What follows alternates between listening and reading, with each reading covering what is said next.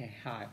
Um, so, uh, welcome to the last part of uh, the video, which uh, what we're gonna do now here is to talk about the bootstrap argument that would give us the gradient estimate that we want. Okay. Okay, so these sort of like bootstrapping often happens in analysis where um, once you do like a technique or like a, a trick, it sort of gives you something that kind of looks like what you need but not enough. Uh-huh. So you sort of repeat the argument again and it creates this kind of, I kind of want to think of it like some kind of a feedback loop of some sort where you get an improvement each time and you do it like finitely many times, then you get the result that you want. Okay. So let's see. So so far what we've done is um, we okay so what we want is to obtain Hölder regularity of weak solutions. We do that by obtaining a gradient estimate where um, it's controlled by some specific power of the radius of, of some ball. Mm-hmm. so uh, we started the proof we talked about heuristics and stuff like that and the general perturbation technique and then um, the second part dealt mostly with estimates and we've seen there like common tricks that people use to obtain estimates for uh, solutions to PDEs and now we do the bootstrap argument. Okay. So but before we start kind of want to point out a typo from the previous video. So this is the estimate that we left off from the previous one but this is supposed to be b uh, the radius of this ball ball is supposed to be rho and rho is smaller than r. In the previous video it's r. Okay so it's supposed to be rho okay let's uh let's make some observations. Um okay note that i can look at these functions here the gradient of u. I can look at them as functions of uh, like um of the radius of the ball. So this is like phi of rho and this is phi of r. Mm -hmm. And the observation is that phi, uh, these are non-negative, it's non-negative, and that this is non-decreasing. And that is clear. Uh, um, okay. Another thing that I kind of want to point out here is, uh, let's look at this term. Uh -huh. We are going to introduce a technical lemma later. Uh -huh for which if we can write this term as r to the n minus 2 plus 2 alpha times maybe a constant where this would absorb this uh -huh, multiplied to L2 norm of u or even H1 norm of u plus this term here LQ norm squared. Uh-huh. Then a technique, if, if I can write this as something like this term, the, uh, a technical lemma that we're going to introduce later would give us the gradient estimate that we want. Uh-huh. So the key things to note here is this can be made small. Uh, you have here rho to the n. n is bigger than this one. Note that alpha is less than 1. So this is um, negative uh, so that this whole thing is less than n. So those are the key uh, observations. Another one is we can look at these as functions of the radius. It's non-negative and it's non-decreasing. Okay, so it all kind of looks abstract and I really don't have a good motivation for it because the book didn't really motivate it and I'm not quite sure like how people came up with it. So I don't know. But what I can say at this point is that uh, with those observations that these can be thought of as functions of free non-negative functions of the radius, if somehow I can write this in terms of like a bunch of constants times this power of r and that this is less than this n here, then a technical lemma would give me the gradient estimate that I need. Now to answer the question, well, um, how did you come up with the technical lemma? I do not know. So uh, if uh, someone knows, uh, uh I welcome the uh, the explanation. Okay. So what is this magical technical lemma that we're talking about? So it really has nothing to do with PDEs. It's a lemma about uh, non-negative decrease, uh, non-negative, non-decreasing functions. So we write it down. So the auxiliary lemma is okay. Different color. How much space do I? Okay, plenty of space. If I have uh, a function phi and this is non-negative, non-decreasing on 0r. And I have that the following holds uh, phi of rho is less than or equal to a of rho over r uh, to some alpha plus some epsilon here plus b r to the beta. This is for rho smaller than less than equal to r less than equal to some big r Mm-hmm. Uh, another important thing is beta is less than alpha and all the constants are non-negative. Uh-huh. Then the conclusion is for every gamma between beta and alpha, uh, there exists some epsilon zero positive such that for small epsilons, mm-hmm, we have the following. You have phi of rho less than or equal to some constant. Uh, you have rho over r, so the epsilon there disappears, to the gamma phi of r plus b um, rho to the beta. Uh-huh. So in particular, if you said, okay, I don't have much space. Okay, um, before we go to the specifics, let's sort of look at this one because it's it's a lot. So it it's a lemma that is not really related to PDEs. It's about non-decreasing, uh, non-negative functions.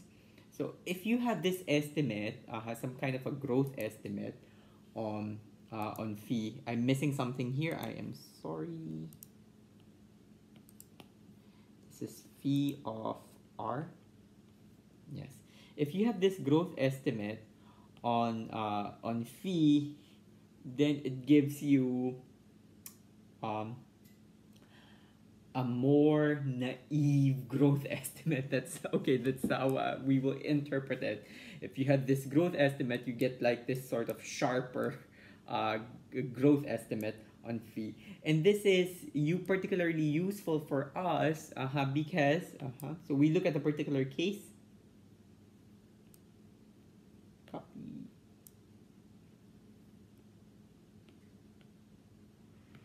Okay, so in particular, uh, if I said um, uh, we have it in the case where you have this, mm-hmm. so instead of you have two things, little rho, uh, you have rho and little r, okay, you just have here little r. Particular, you have something like this uh, r over big R, the gamma, phi of big R. Uh, am I doing this right? I think so. Plus b rho, so that's r to the beta. Okay. Note that uh, beta here is less than gamma. So what I'm gonna do is I am gonna pull out um, this power of r, r to the beta, and then I'm left with r to the gamma minus beta. Note that this is positive over r to the gamma, phi of r plus b. And note that these things are bounded. Uh, now remember, remember, uh, at the start of this video, we were talking about this estimate here, and we're saying that oh, we can look at these as functions of the radius. Uh-huh, it's uh, some phi of r, which is non-negative and non-decreasing. And we're going to show that we can sort of reduce this estimate into something of this form so that we can use it in order to get something like this. So this is going to be something like the gradient of uh, the L2 norm squared of the gradient of u. We get a bunch of constants and we get this power of r. So we would want beta to be n minus 2 plus 2 alpha. So we sort of want beta to be n minus 2 plus 2 alpha. So that is the exponent that we need to give us the gradient estimate that we want to give us Hölder continuity using the result that we had on Campanato spaces. Okay, so it looks very technical. The proof is uh, not too difficult, but it doesn't involve PDE, so uh, we are not gonna discuss that. But that's the idea. Uh-huh. Um, the idea is this estimate here um, can be made to look into something like this, which would allow us to write uh, to obtain an estimate like this, and this gives a gradient estimate. Okay, so uh, lots of symbols, but uh, that's the train of thought. Okay, estimate here can be made into this. This lemma then gives us this. This is the gradient estimate that we want because it's square of L2 norm of grad controlled by a bunch of constants times this power of R. So using the theorem on Campanato spaces, it gives you Hölder continuity. Okay, so to do that, we consider two cases. Uh-huh. So it hinges on, let's look at this. It, uh, it hinges on whether C is zero or not necessarily zero. And the proof when C is zero is easy. Why? Look, uh, can you see why? If C is zero, then what do you have? You're just left with this term, which already has a power of R, and this term here that kind of looks like this one. Okay. So uh, the case when c equals 0 actually is going to be a direct application of this lemma. That's why we're sort of singling it out. We're not going to use any uh, bootstrap argument for that. Okay. And in fact, the estimate that you get is different. So let's look into that. So case 1, C is equivalently 0. So in that case, what you have is the following estimate. You have uh, integral b rho uh, grad u squared less than or equal to some constant times. I'm going to try and write a bit faster. Uh, let's see. You have here, I want I want it to look like the lemma. Okay, so let's write it as this. Grad u squared uh, br x0 plus tau squared r. Okay, let's push it to grad u squared uh, b1. Okay, that's the largest possible value plus r to the n minus 2 plus 2 alpha times LQ norm of f b1 squared. So we have something like this. Okay, okay. Um, wait, is this, uh, is this what I want?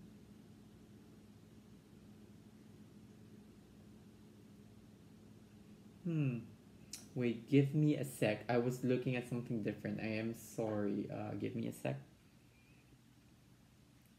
Okay, I, I made a mistake. I was looking at the conclusion.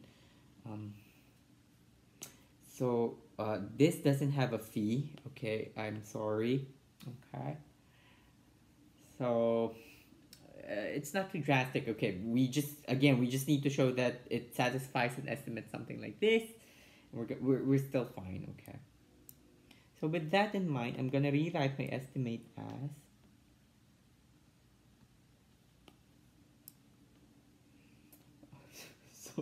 I, I said like a bunch of maybe wrong things. I'm sorry. Uh, if we have this, earlier I was saying something like the control like involves phi of r. Just disregard whenever I would say like we have a of r estimate here. Okay. Nothing too ma- uh, nothing too major. Okay.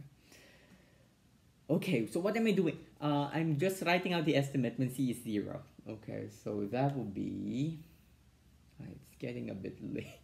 a bit tired, so I'm sorry. So this is uh, rho over r to the n plus tau squared uh, of r. Then let's push this to uh, grad u squared. Thinking, do I want to push this to Wait, let me just check the book. Give me a few uh, seconds or something. Because maybe I've written the technical lemma wrong. Oh, okay, okay. I'm sorry. The technical lemma is supposed to look like this. Okay, this is where the phi of r is supposed to be. Okay, okay, but same same uh, same plan. We want this to look like this. Then that is how I'm gonna write it. Um, br of x0. I was debating whether this is supposed to be um, b integral over b1 or b, or br, but we want it to be br. Okay. Um, plus what else? Um, okay, so my notes were correct. Uh, r n minus 2 plus 2 alpha.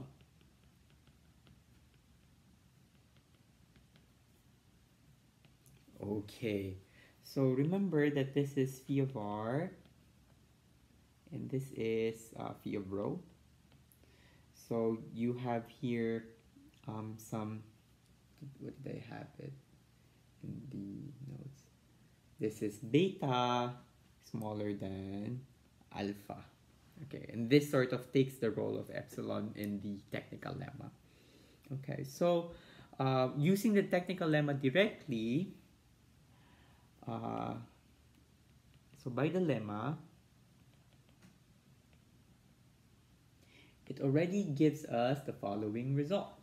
It gives us the um, existence of this epsilon 0 such that whenever epsilon is less than epsilon 0, so what does that mean? Whenever this thing here is less than epsilon 0, so whenever tau squared of r is less than epsilon 0, which notes that tau um, is um, non-increasing so that this is equivalent to saying that um, r is less than some r0. So for small r, note that for small, this is a perturbation argument. Small r means that um, we're not too far away from where we have frozen the uh, leading coefficient matrix.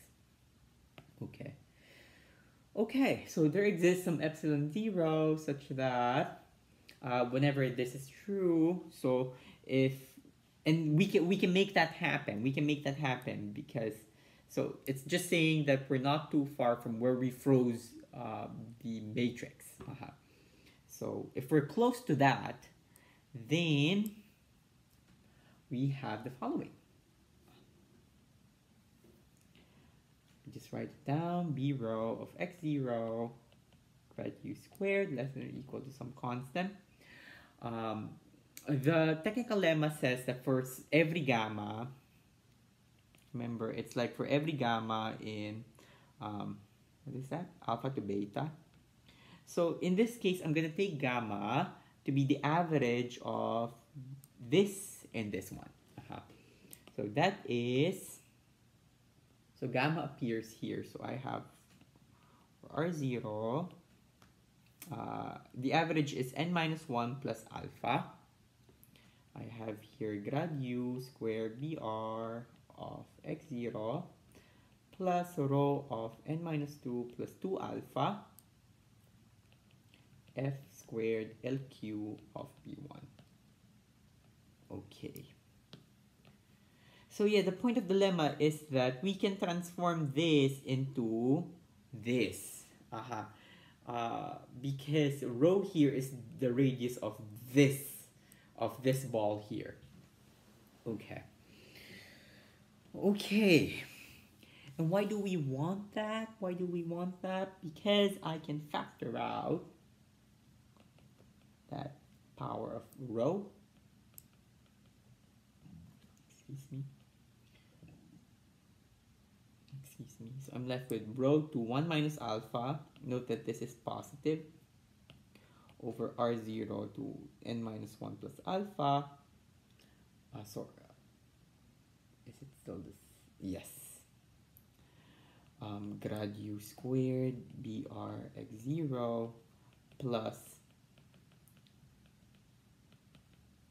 this one. Uh-huh. And this term here is bounded by a constant. So eventually, let's sort of just shift things up so we have more space. Uh, we have that this is less than or equal to some constant, rho n minus 2 plus 2 alpha. I have L2 norm of uh, grad u squared plus uh, square of the LQ norm of f.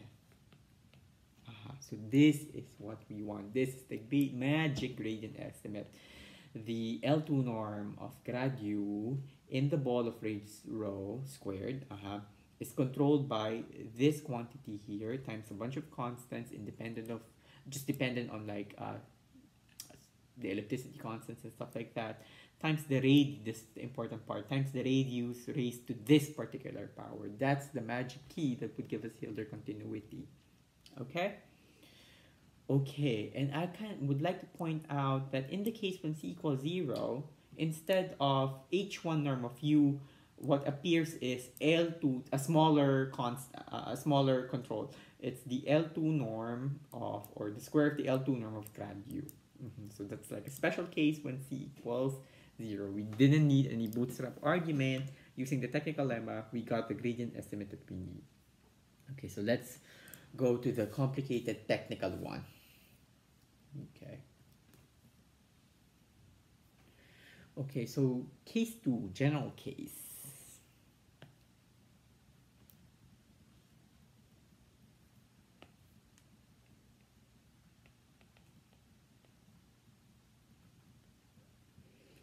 Okay, so just some notation. Let's denote chi of f to be this. So I don't have, uh, we don't have to keep on writing it. The square of the LQ norm of f, b1. Okay.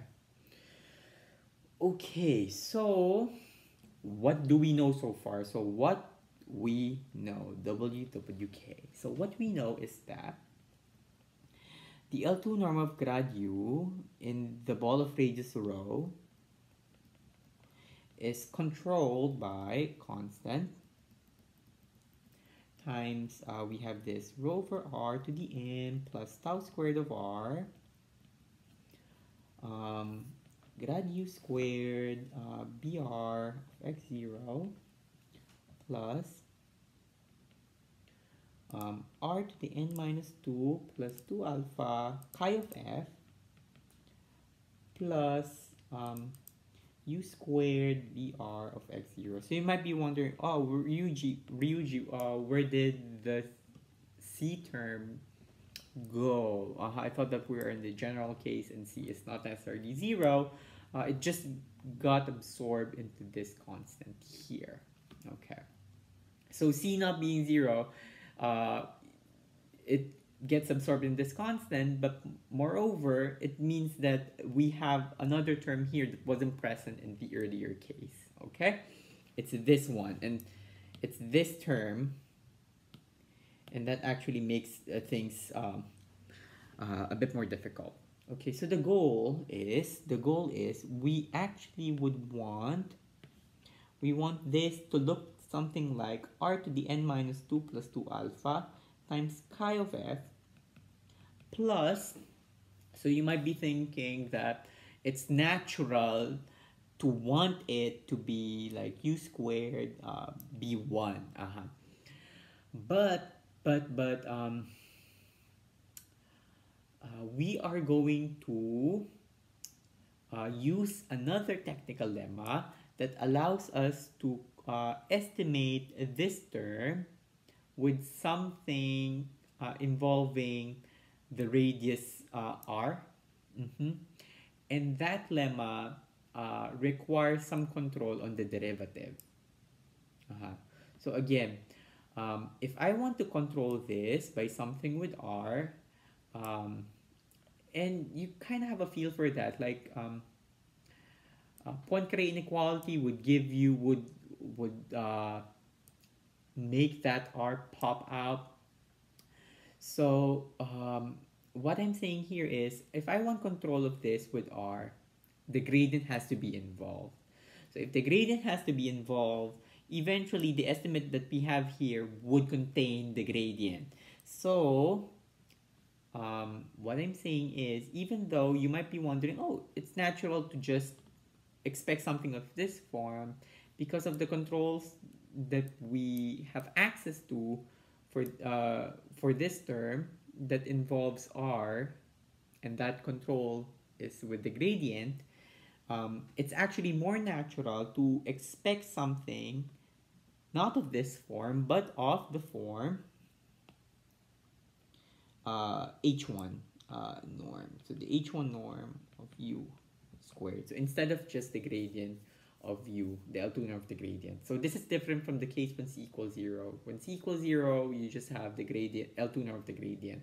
In the general case, you actually need the stronger um, H1 uh, estimate. Okay, okay, so how do we make this appear? So we make the following claim, and we are gonna work towards proving that claim. And once we have that claim, we are done. What is the claim?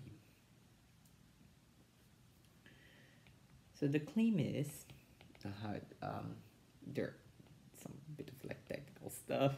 Uh, for every x in this ball, so you can this you can sort of think that we imposed these conditions so that the balls that we consider would always be in B1 and that we have this string here the following holds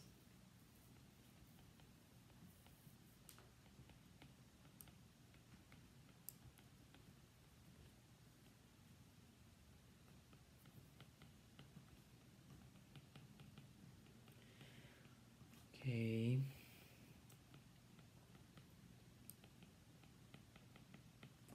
Plus r to the n minus 2 plus 2 alpha of this is um, chi of f plus uh, h1 norm of u squared. Okay, so this is the magic estimate that we want. And uh, I I hope that um, uh, it makes sense to look for this estimate because once you have this estimate, note that again this is less than this. You can use the technical lemma to replace this by rho and that you can make this small. Note that the technical lemma requires this to be small, which you can do, you can do. And that what that means is you're just making the perturbations small. Okay, so this is a measure of the perturbation. So you're just making the perturbation small. So once you, again, once you have something like this, I can replace this with rho, this vanishes, and then I can pull this power of rho outside. And that is the gradient estimate that I need in order to conclude Hölder continuity. Okay, does that make sense? So the ultimate goal is to prove this claim because once we have this claim, I can replace this by rho to this power and then factor it out. And yes, and that hinges on a, a bunch of things, like for example, this being smaller than this and making this small, mm -hmm, which is akin to uh, making the perturbation small. Okay, so we are almost there. So before that, we introduce another technical lemma. So, so before we proceed, I just kind of want to emphasize something. Uh-huh. At some point, we're going to do a series on existence of weak solutions. And if you watch my preliminary video, the, uh, the reason that we bother with weak solutions is that by make by looking for more general solutions, it makes it easier to find them. Okay. So, uh, getting weak solutions, it's actually fairly straightforward to prove. Uh huh. But the difficult part is uh, showing that your weak solutions have better regularity, and this is what we're doing now, like with um, um, sparse conditions, on the coefficients and stuff like that, we want to show that U being a weak solution actually is something better. It is Hölder continuous. Now that, uh, as you've seen in this trio of videos, is very technical and uh, fairly difficult to do, like relative to showing that weak solutions exist. So yeah, that I would say kind of makes the study of PDEs exciting. And in fact, um, the million dollar uh, question, uh, uh, it's part of the Millennium Problems. Uh, it has something to do with showing that the some notion of a weak solution for the Navier-Stokes equations that they're actually smooth. So that is a regularity question. So regularity questions for PDEs, they're actually very important and non-trivial. And in general, very difficult. Like like with that, there's a million dollar like price um, connected with that. I'm, I'm thinking of doing um, a Navier-Stokes uh, series at some point because uh, in my research I have to um, brush up on Navier Stokes, Stokes or Stokes again. So we might do a series on that. That would be fun. Okay, but for now, uh, I was saying that regularity is hard. Okay, so going back, we uh, recall another technical lemma. Okay. Is this like the second or third technical lemma we have for this set of videos? The technical lemma is this one. Uh, did I? No, this is new. Okay, for U in H1, uh, H1 omega, have the following. If you have this control on the gradient,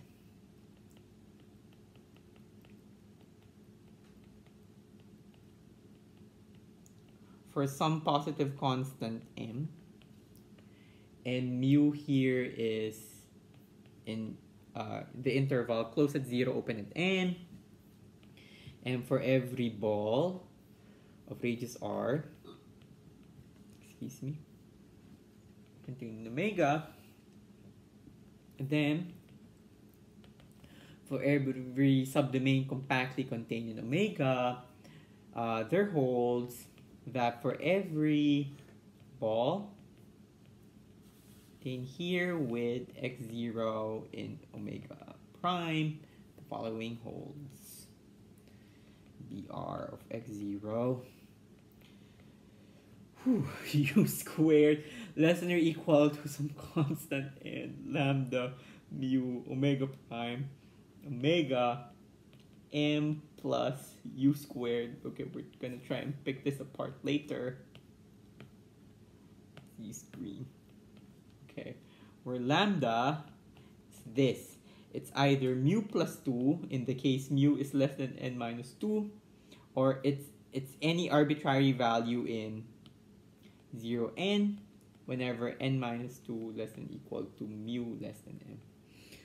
Okay, it's a lot. Let's Okay, so going back, okay, so I was saying that it is a lot, but let's try and pick this apart. Well, the reason that we want uh, this lemma is, remember uh, earlier, um, where was that?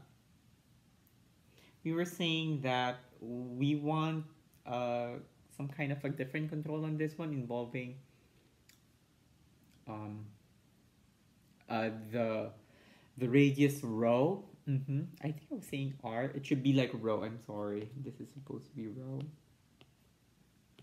I'm tired. It's late. Okay. So that lemma actually gives us that. If you look at the conclusion of the lemma, uh, it gives you that power. Um, it gives you r to the lambda. It's not gonna be exactly. It's not necessarily gonna be exactly the right power that you have that you need uh-huh, it's going to be these, so there are cases, but this is where the bootstrapping would come into play. You sort of like repeat the argument until you, you get the right power of lambda here. Okay. So what is this lemma saying? Um, if I have control on the gradient, then I have control on, on the function, uh, which kind of makes sense. Uh, this is a technical lemma, but the proof actually relies on uh, Poincaré's inequality, which gives you that relationship between function and uh, the gradient. And Poincaré's inequality actually like gives you that factor of R. Okay, so it kind of looks complicated, but what it really is saying is if you have control on the gradient and the control is in terms of R, then you have control on the function in terms of R, which is what you want. And note that here, M here appears here. Okay, okay, so we have that. Uh-huh. So we're gonna use that. Okay, so for the first iteration, not really an iteration. Okay, so for the first one, observe that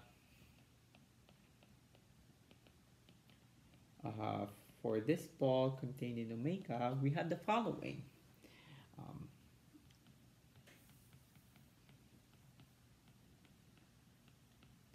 R to the 0, this is just 1, r is positive. b1. So this is sort of like your m. Mm -hmm. And this is, this is trivial uh, because um, this is not omega, I'm sorry, this is supposed to be b1. Uh -huh. So this is trivial because br uh, x0 is contained in b1. Okay. So this is the control on the gradient.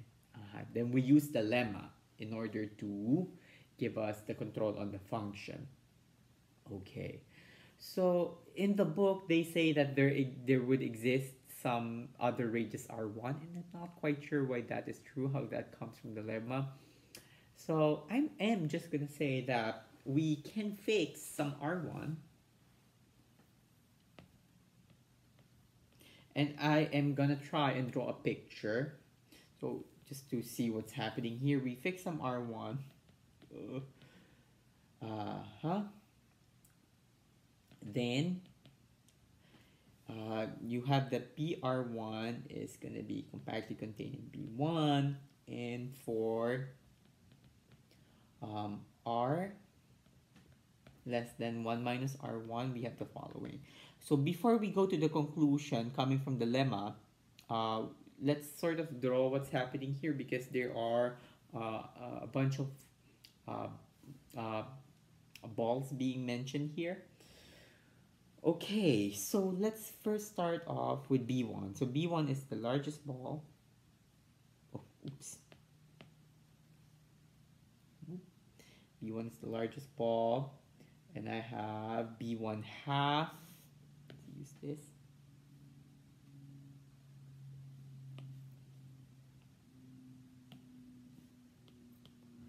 Let's draw it here. Oops.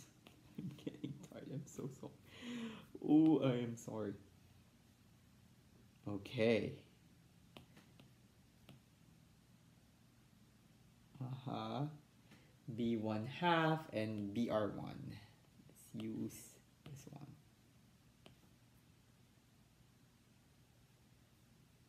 Let's make this a bit smaller.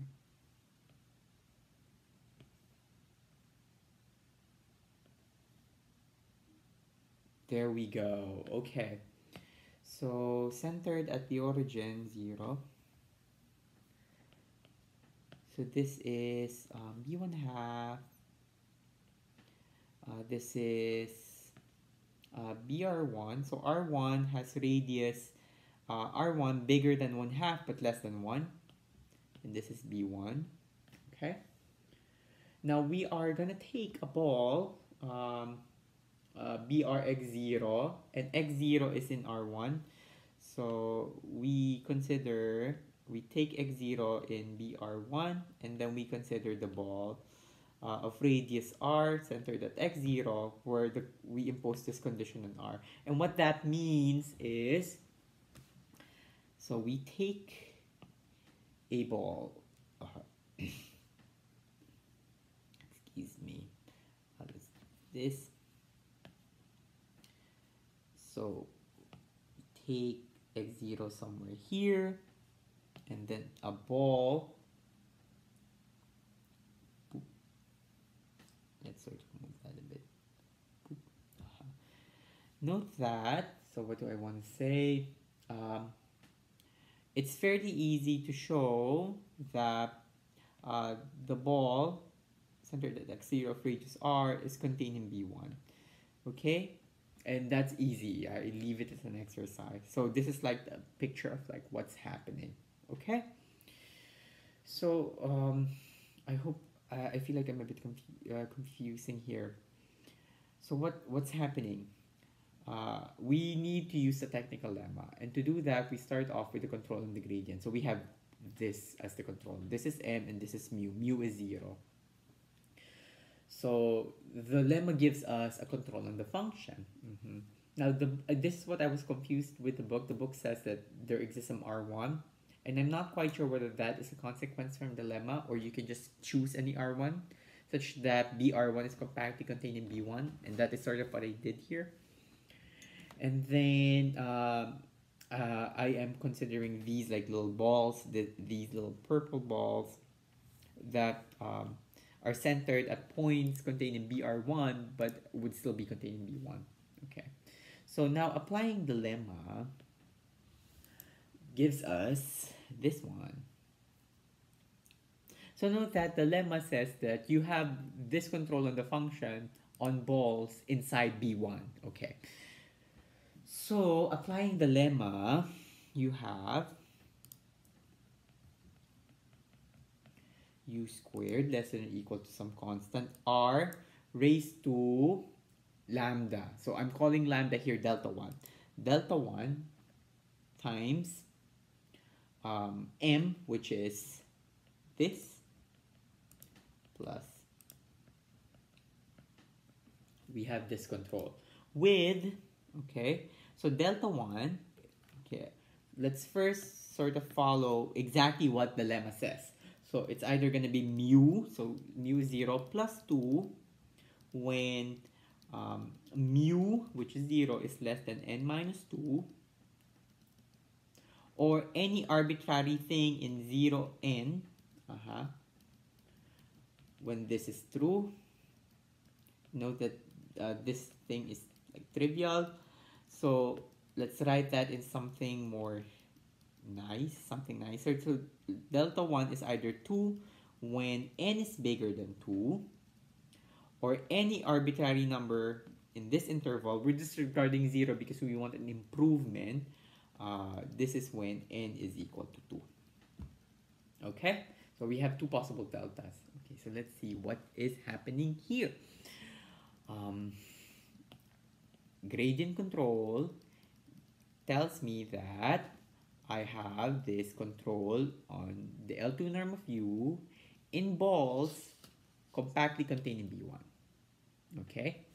That is what that is saying. And the control is, uh, -huh, we have a bunch of things, but the important thing here is you have the radius of the ball raised to some power, positive power. Because we started off with zero power, now we have something positive. Remember that eventually we're gonna add things and everything, but eventually we want to reach n minus 2 plus 2 alpha. So I hope that you see here the bootstrapping thing uh, that is happening, sort of. There is an increase in the power of r. So we have here 0, it becomes something positive, delta 1, which is either 2 or any arbitrary thing from 0 to m. Okay? Now let's consider cases. Okay We're almost done. Okay. Um, so let's just, okay, so why are we doing that? Why are we doing that? What is the estimate that we have? This is what we know, WWK, this is what we know. This is bounded by this. And what did we say? What did we say? We want to replace this term by something like this. Okay. And that um, in order to do that, I need to estimate these terms in terms of something with rho. Mm-hmm. And that is what the lemma is for. So, doing one step of the lemma, we can rewrite this in terms of something else because the lemma allows us to estimate this term. And I'm going to write that down. So um, combining that estimate with the result from the lemma, what we have is um, L2 norm of grad in B rho is less than or equal to C. I, I, I should just have just copied this. Um, what is this? Rho over R to the N plus tau squared R times L2 norm of grad plus r to the n minus 2 plus 2 alpha chi of f plus r to the delta 1 u squared h1 b1. Uh, note that uh, this is square of the h1 norm. Okay, now this is the special term. Let's cover that pink because pink is fun.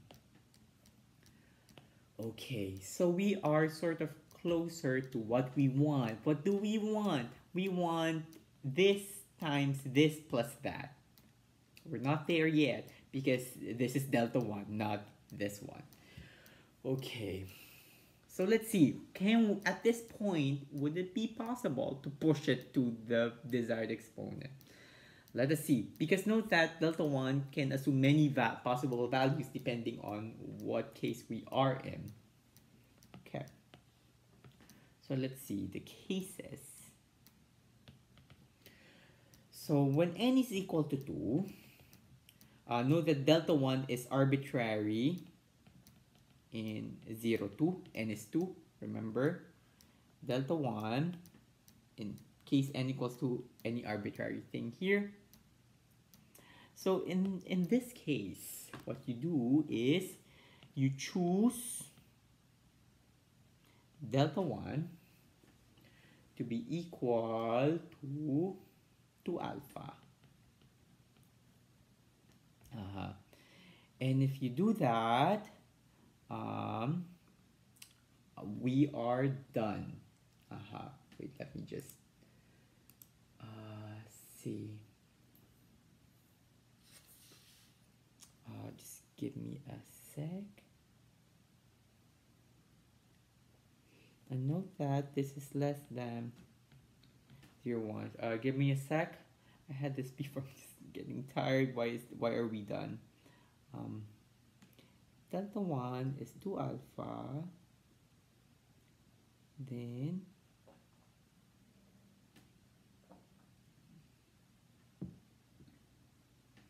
it was clear to me earlier today. Uh, where are we done when delta 1 is 2 alpha?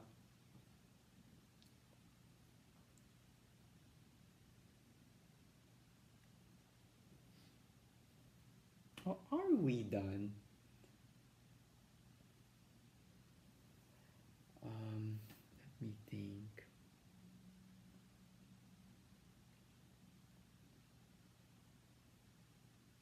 Yes, okay. I okay, I was like, why are we? It's not n minus 2 plus 2 alpha, but we are in the case when n equals 2. Okay, why are we done? Because n minus 2 plus 2 alpha, in the case n equals 2, is what? So this is 2 minus 2 plus 2 alpha. So this is precisely 2 alpha. We get the exponent that we want. Okay. okay let me backtrack a bit. I'm sorry. I, um, when n equals 2, delta 1 is any arbitrary number in this interval. And I'm saying that, okay, just choose delta 1 to be 2 alpha.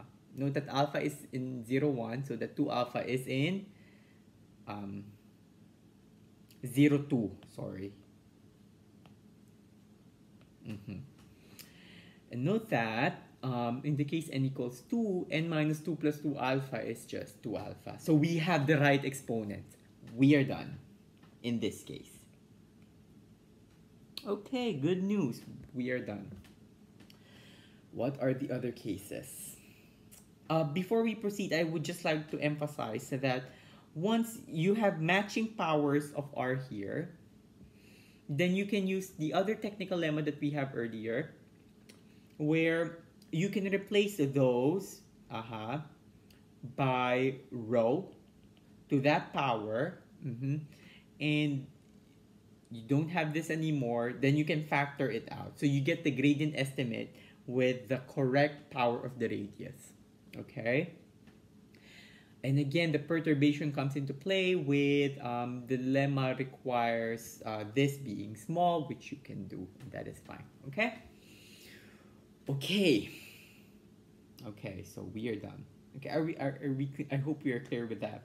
We want the powers to match so that you can use the technical lemma in order to say that I can make this small and then I can repre- replace these with rhos, this rho, factor this with rho out and you get the correct gradient estimate that you need.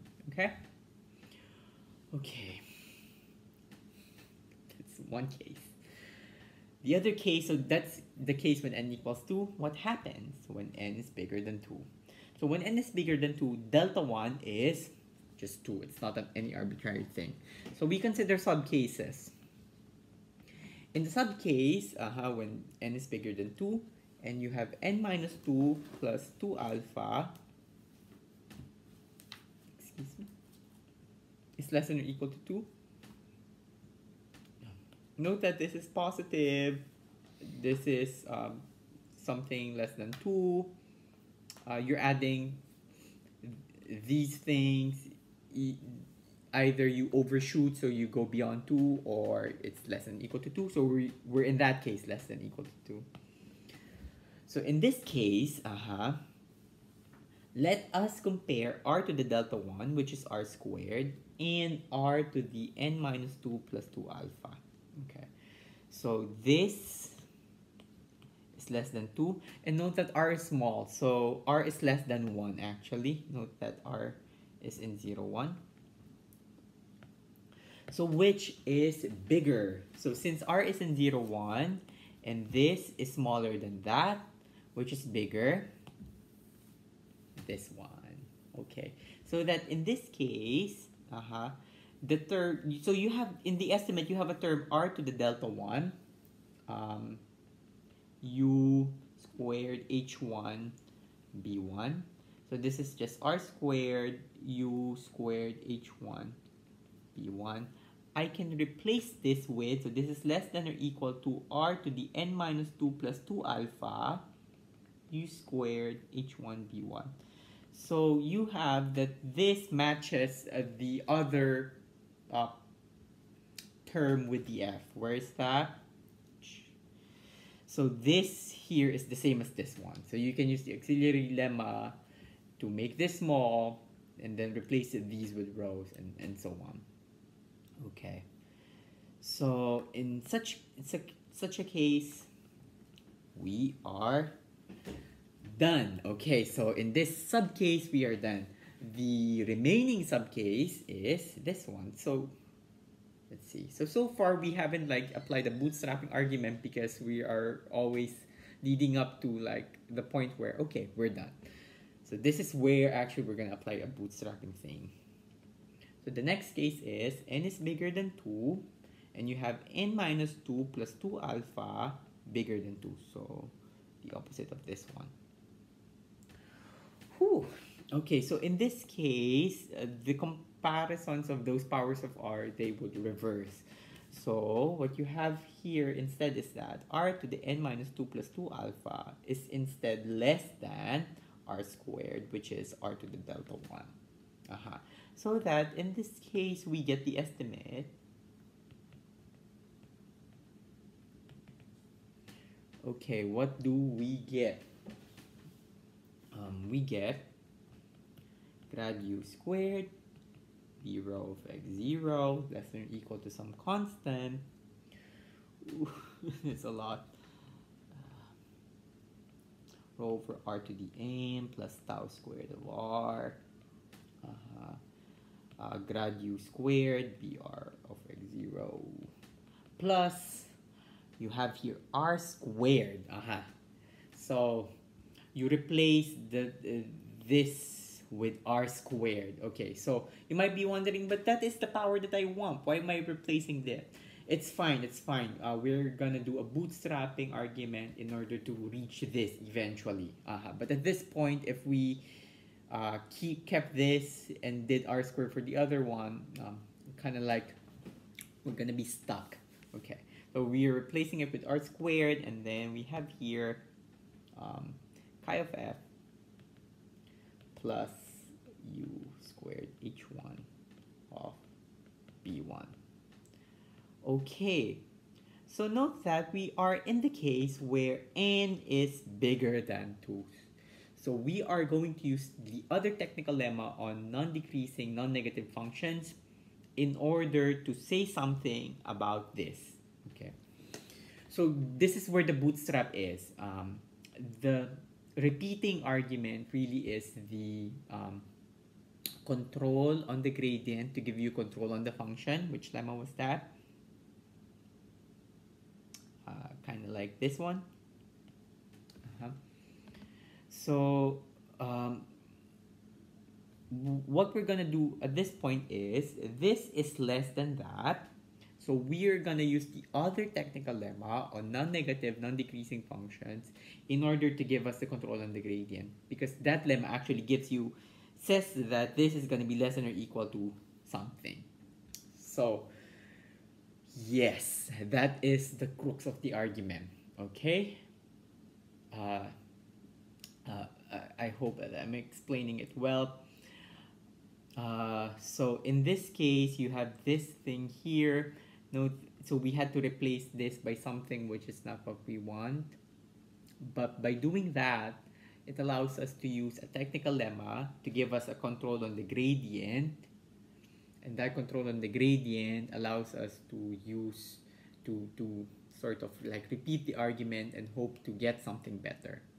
Remember that uh, for the first iteration, we went from control on the gradient, something from r to the 0 to r to the delta 1.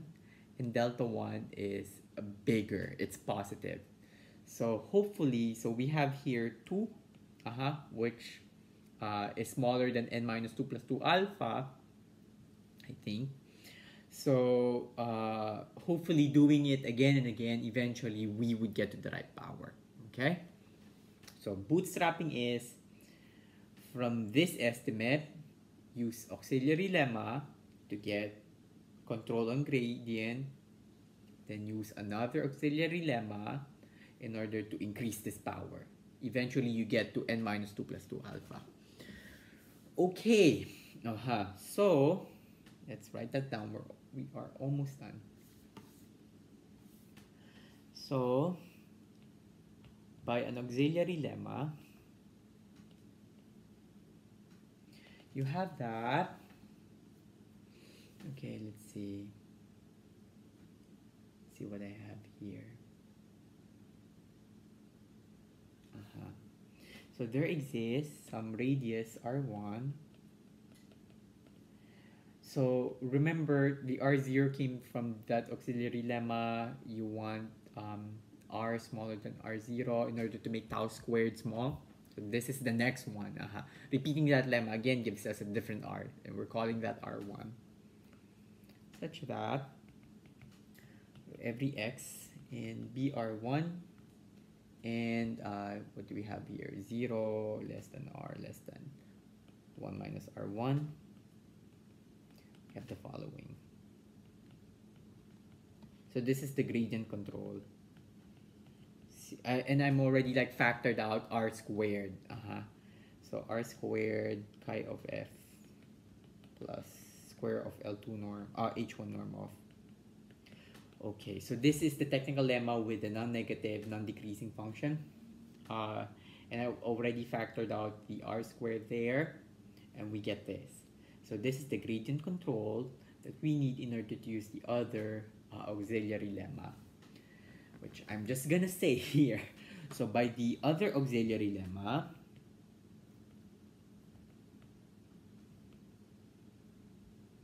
we have uh, that there exists another r, 1 half to r1, uh, such that you probably disregard these at this point. Like, I know we're all tired and 0 less than r less than equal to r1 minus r2.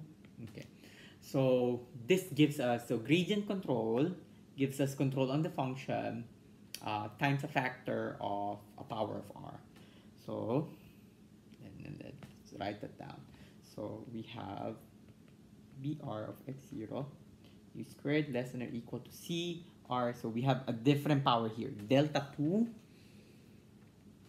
times uh, this, which is m. Okay, so this is really just an application of that auxiliary lemma. So the question here is, do we actually have an improvement? So it depends on what delta 2 is. Delta 2 must be bigger than delta 1 in order to say that we actually have improved something. So let us verify that. What is delta 2? So delta 2 is going to be equal to, um, here mu is 2, mu is 2, so it's going to be either mu plus 2, which is 4, in the case when n is bigger than 4, or it can be any arbitrary thing. Uh, you can check that um, it's 2 to n when either n is 3 or 4. Okay? Now, note that we are left with this case because it's the runoff from the case n greater than 2 and something, something else. Okay, so that's why we're disregarding n equals 2 here. Okay, so uh, we have this, which is an improvement to delta 1. Remember what is delta 1? Delta 1 is either 2 in some case and any arbitrary thing in 0, 2. So we get something bigger. Uh-huh. So the observation is, what is the observation? The observation is delta k increases after each iteration. Uh-huh. So eventually, eventually, you can repeat the cases. Uh-huh. You can just repeat the cases and you, uh, you come to the point where you need to do the iteration. Do the iteration again. And you sort of repeat it up until you get delta k to be greater than or equal to n minus 2 plus 2 alpha. And once you've reached that, the powers of the r's or the, the r's would match. Uh-huh. Why? Let's let's look at this again. So you would uh, the deltas would increase, so you would reach a point where this is now bigger than this. So in that case, this is less than or equal to this. So the powers already match. And then you can use the technical lemma in order to make this small, replace this with rho, and then get the correct gradient estimate that you need. So with that, uh-huh, we are actually done. Uh-huh. So it looks like a lot, but let's sort of recap uh, what happened here. So uh, based on some sparse conditions, continuity assumptions on the leading coefficient, stronger integrability conditions on CNF, we can show that the weak solution is actually Hölder continuous in C alpha. Okay, so to do that is we broke it apart into three parts. First one is the perturbation argument, and we've talked about the heuristic uh, about that. You sort of freeze the leading coefficient and then sort of like move things around, subtract like an equation for A-harmonic functions and stuff like that. The second part is you work with estimates and you choose uh, some kind of a particular uh, function as a test function and then you handle uh, each of the terms separately where um, uh, you use standard techniques like Hölder inequality, Sobolev inequality, Young's inequality with epsilon. The third one is the bootstrapping argument and it's, I think, I mean, to me, it felt like the most technical one. And it involves um, uh, getting the correct uh, power of R. And it's uh, it involves this interplay between these two lemmas. So we've seen that, okay, um, we want to get something. So it really relied on gradient estimates on U.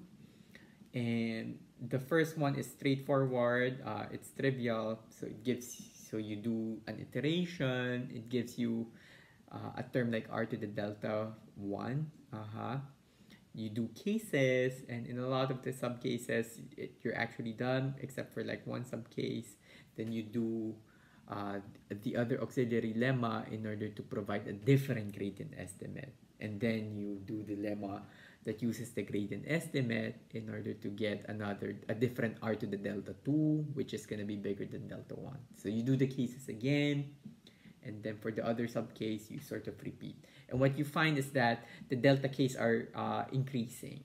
So you get to the point where it's bigger than the exponent that you want and minus 2 plus 2 alpha which and note that r is less than 1 so eventually you get the thing that you need so it is a lot uh-huh and of course like um I'd be happy like to answer any questions and stuff like that I, I think I should leave my email I'm not sure if I left my email on the channel uh-huh so yeah there uh, that's that uh, what we're gonna do next is um, if we strengthen the conditions on the leading coefficients um, we can actually say something more about the solution. So at this point, it's just the alpha. But the next part is we can actually show that it's C1 alpha. So even its first derivatives are uh, Hölder continuous.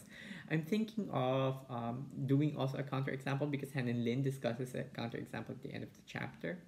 And after we're done with that, the perturbation methods, we're gonna move on to like the big parts, um, the uh, De uh, Moser iteration, which doesn't rely on continuity assumptions to get um, continuity, which I think is like really cool, and eventually led to the solution of Hilbert's 19th problem. Okay, so yeah, that's that. Um, this has been like a very long thing. It's just like one theorem, but it's like very technical, and I hope that it emphasized that yeah, um, regularity theory for PDEs is um, exciting um, uh, it's exciting because um, yeah it, it requires a lot in order to get them to prove results and stuff. Okay. So yeah there's that. Uh, thank you for uh, watching. I'll see you uh, I'll see you some other time